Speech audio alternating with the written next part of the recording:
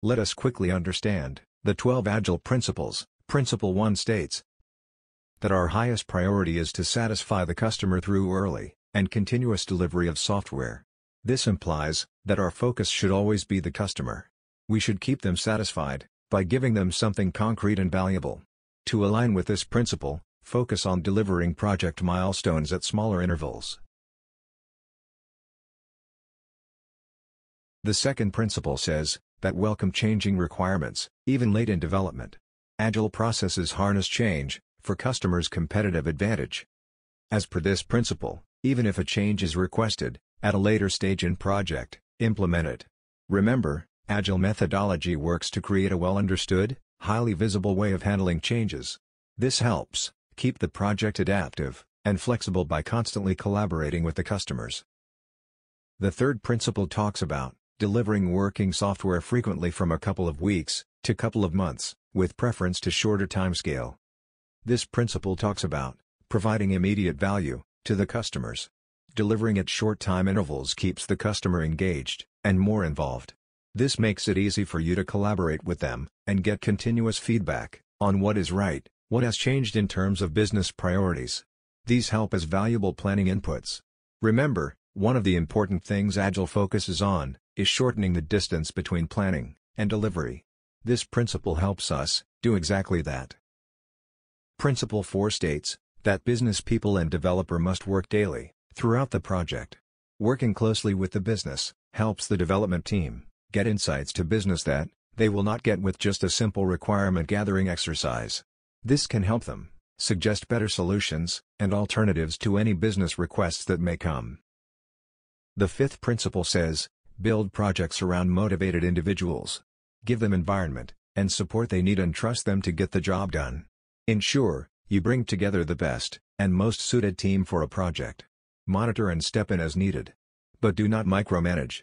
Rather trust in their ability and give them an environment where they feel motivated enough to do what they are best at doing. The sixth Agile principle states that the most efficient and effective method of conveying information to and with a development team is face-to-face -face conversation. Not only do conversations help get faster answers and feedback, they also help you get quickly to the source of the problem. Do it as often as possible. Principle 7 states that working software is the primary measure of progress. Stay focused on what is important. The primary metric for an agile project is working product. If the product does not work properly, very well maintained documentation is of no value. The eighth principle talks about how Agile processes promote sustainable development. Sponsors, developers, and users should be able to maintain a constant pace indefinitely. If you're working on a project for an extended period, there's going to be burnout. Agile methodologies seek work-life balance among the team members. This leads to an alert, creative and motivated team that works in close collaboration, to successfully deliver the project in phases.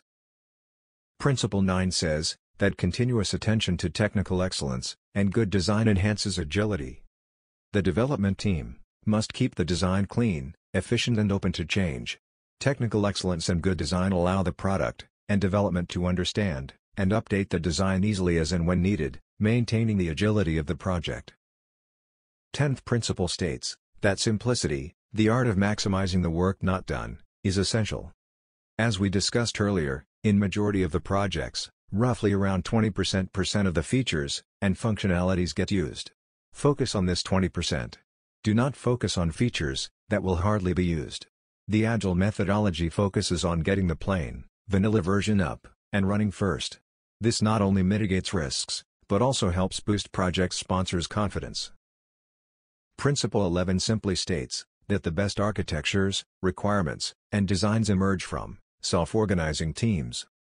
When you have a strong team, you want to give the team the autonomy to act independently. A self-managing team that has autonomy and responsibility to achieve the goals of a project delivers a project with confidence and commitment.